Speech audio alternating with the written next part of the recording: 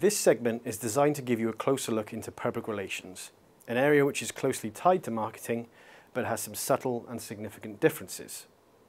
I'm sure many of you will be familiar with the term PR, but if you're anything like my friends or family, you may not have a detailed understanding of exactly what it means.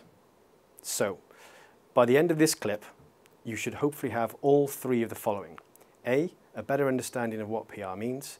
B, some insight into how our PR campaigns are planned and what they are designed to achieve.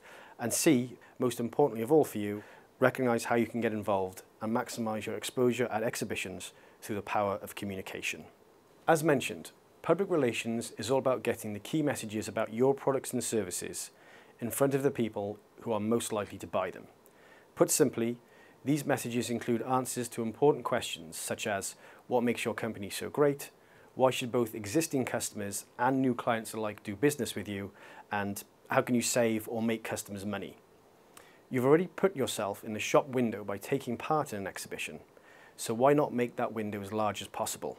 PR can help you do this. These goals can be achieved by communicating information to the market through the right channels, the aim of our campaign is to raise awareness of the event by building the show's brand through targeted media coverage. This will drive visitor numbers whilst educating audiences about the core themes and new features at the show. Like all good plans, the campaign has a beginning, a middle and an end, each with various elements. The start of the campaign will see core information about the show distributed, what, when, where, who and why. The middle of the campaign is really where we'd like to hear from you the most. Journalists will always be interested in learning about new product launches, interesting demonstrations, and insight from experts on industry issues. So always be aware of how you can get involved with these strands.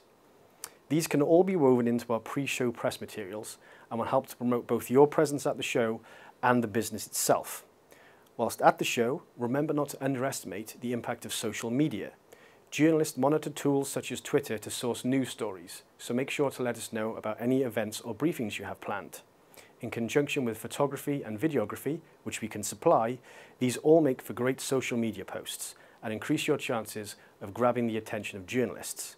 Other on-site news hooks that work well are stories around any deals you may close, a perfect way to shout about how successful your show has been. Quotes of this nature can also be incorporated into our show reviews, which make up the bulk of the end stage of the campaign. This provides a platform for you to promote how you found the show, who you met, to discuss the positive meetings you had, and the knowledge you gained. So hopefully there will have been some useful tips here that have given you some food for thought as far as marketing and PR are concerned. Whilst we understand there's an awful lot for you to focus on at a busy trade show, it's important to appreciate that these opportunities are all free they only require a modest investment of time and effort. When put to use correctly, however, these simple tools can help to turn a good show into a great one. We look forward to seeing you at the NEC in September, and of course, if you have any questions, please feel free to contact us.